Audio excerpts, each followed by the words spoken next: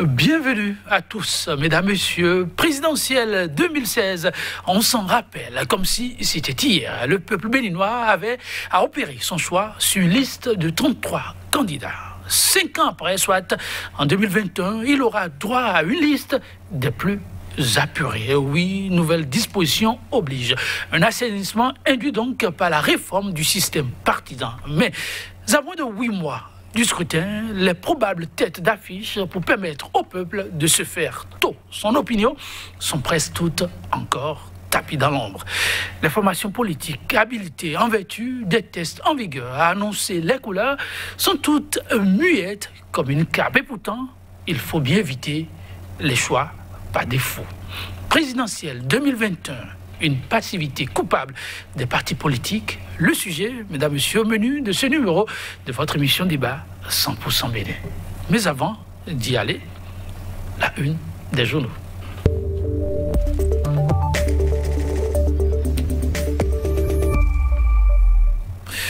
Oui, c'est le dernier rendez-vous comptant pour cette semaine. Et l'avant, dernier rendez-vous pour le mois d'août. Le dernier, ce sera le lundi prochain, oui. Quand je viens nous est déjà sur ce plateau pour nous présenter ce qui constitue l'essentiel de sa moisson. Quand je viens nous, bonjour. Bonjour les Todji, bonjour également à nos amis téléspectateurs. Alors, ce vendredi, est-ce qu'il y a quelque chose de spécifique au menu?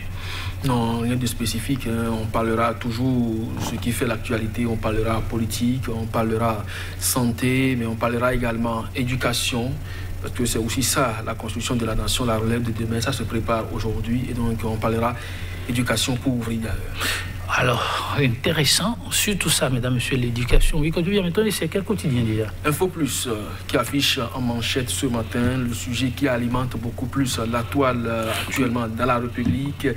Échec du premier au CEP 2020 au concours d'entrée au Britannique militaire du Bembereke. L'échec de toutes les polémiques écrit ce journal. Indice global de l'emploi, un recul de 5,5% par rapport la période de 2019. La dépêche, la Cour constitutionnelle invitée à dire le droit, le code électoral, objet d'un recours et puis lettre ouverte au président Patrice Talon, un mandat unique sauf parjure. Le journal L'Audace Info de poursuivre, embellissement virtuel de l'économie béninoise vu par Joël Aïvo, des chiffres qui ne reflètent pas la réalité, l'exécutif maquille la vérité au peuple, écrit-il, test Covid à l'aéroport de Cotonou. Il a ça parle d'une mauvaise décision. L'affiche du jour, recrudescence des drames sociaux au Bénin. Les Béninois sont loin d'être heureux tout simplement constate ce canard. Après quelques mois d'accalmie, le rançonnement signe son grand retour sur les routes. Eh bien, vous avez donc la police républicaine qui est bien illustrée à la une de l'affiche du jour. Le confrère de la matinée présidentielle de 2021 au Bénin. Pourquoi tout ce est intamar alors que Patrice Talon attendait que le peuple le porte en triomphe à l'issue de l'unique mandat on a comme l'impression que certains malins veulent forcer l'admiration du peuple.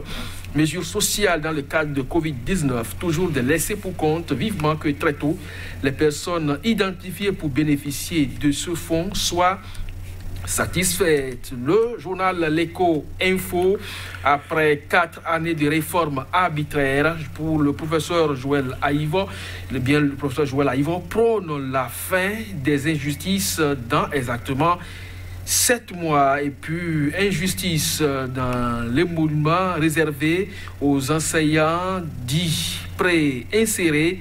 Tim Ressou invite le président Patrice Talon à motiver davantage les éducateurs. Matin libre, enseignement supérieur, vive protestation des chercheurs et enseignants-chercheurs.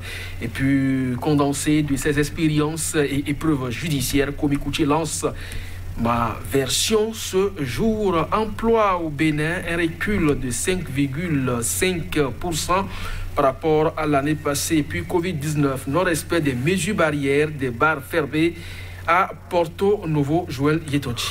Merci à vous. Que je viens maintenant, nous allons commencer par la question de l'éducation. Donc là où vous avez démarré l'info plus, cet échec qui fait beaucoup parler.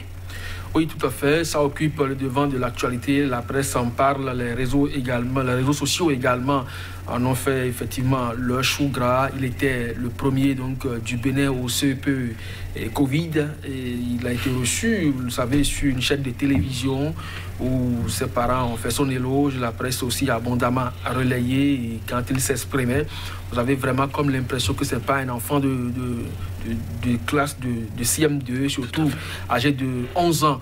Ben, vous savez, il y a la didactique de l'évaluation qui n'est pas donc intégrée aux analyses qui sont faites à ce jour, au-delà donc euh, des faits de société, parce que nous sommes dans une nation réputée quand même d'une certaine pratique euh, à la limite malsaine qui peut toutefois avoir des influences sur cet enfant-là qui a été déjà présenté devant l'opinion publique ou peut-être certains membres de sa famille n'auraient pas voulu que ce soit lui plutôt que leurs enfants.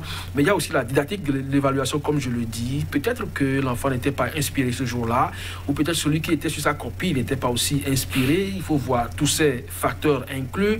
Mais est-ce qu'il était dans vraiment ces beaux jours, le jour de composition Parce que, oui, on peut être premier de sa classe et échouer à un examen, ça c'est fréquent, nous l'avons connu quand on était encore sur les bancs. Et donc, euh, pour ce petit enfant de 11 ans, ce n'est pas donc extraordinaire, ce n'est pas un fait du hasard.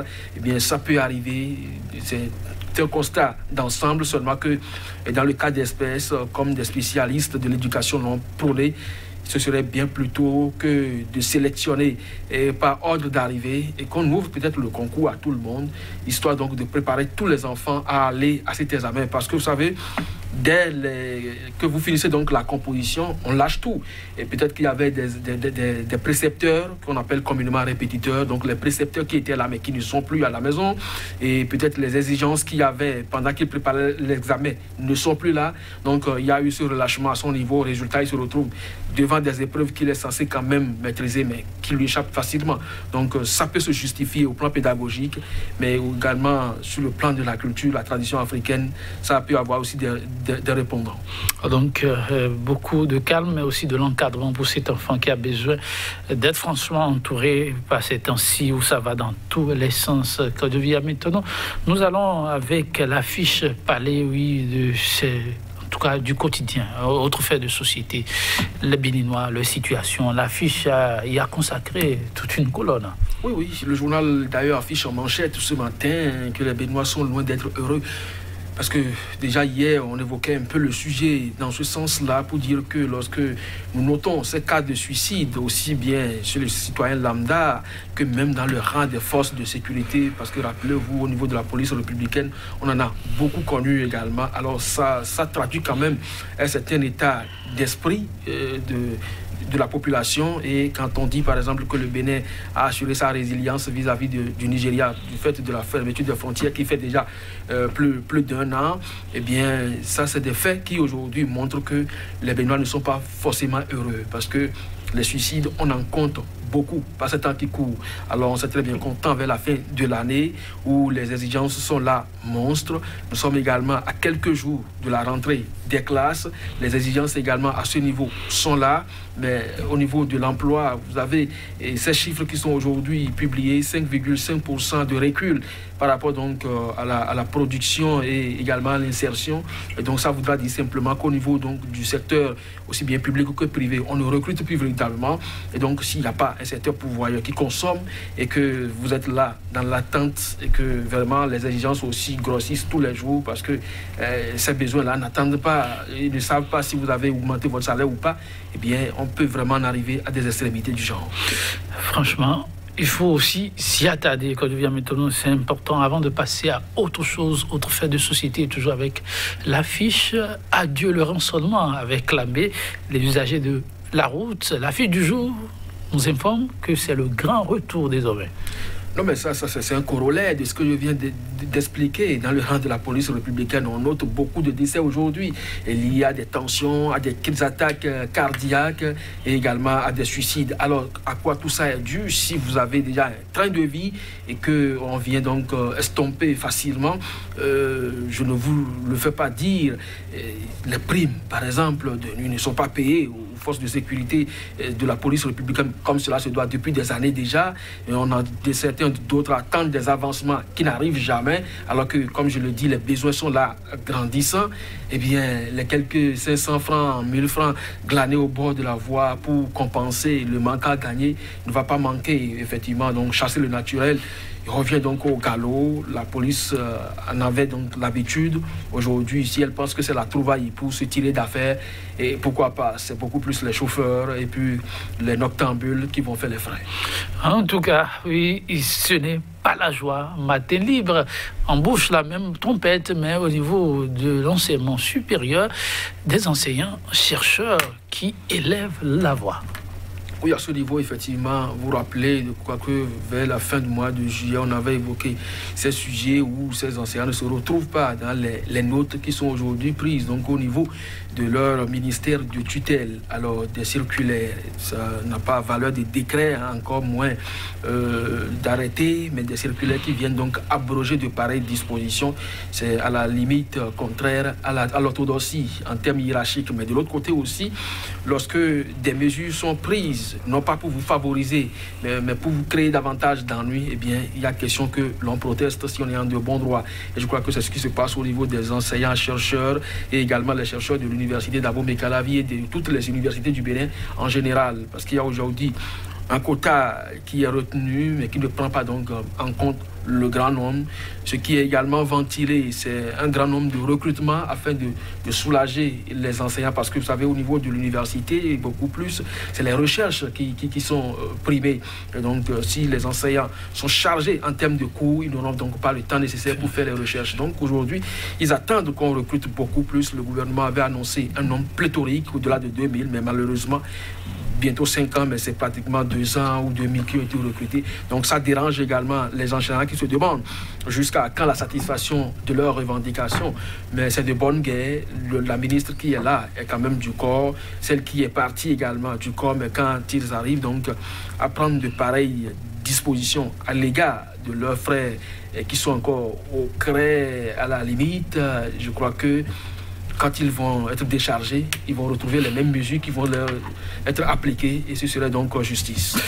En tout cas, il faut mieux bâtir pour l'avenir. Nous restons avec Matin pour ouvrir une page politique. Oui, pourquoi pas l'ancien agentier du Bénin qui, une fois encore, donne de la voix. Oui, comme écoutez, lance ma version, a, écrit ce matin le journal Matin Libre. C'est un condensé de 243 pages qui parle de ses expériences et de ses épreuves judiciaire, l'agentier, puisque c'est de lui qu'il s'agit, n'a pas occulté le franc CFA et, l'écho en gestation. Donc c'est dire que c'est un document qui sera donc à la portée des lecteurs qui pourront donc apprécier sa version des choses, parce que quand il parle de ma version, c'est effectivement dire dans certaines mesures aussi comment il a géré l'administration béninoise, lui qui a été DGFNM, qui a été ministre de la communication, qui a été ministre de, l'économie, des finances et du programme de dénationalisation. Donc il a beaucoup de choses à nous apprendre et nous attendons effectivement que cela soit lancé pour que chacun puisse faire également sa part et sa version des choses. Merci à vous, monsieur. Que devient maintenant, mesdames, messieurs, merci aussi pour l'accompagnement. À bientôt.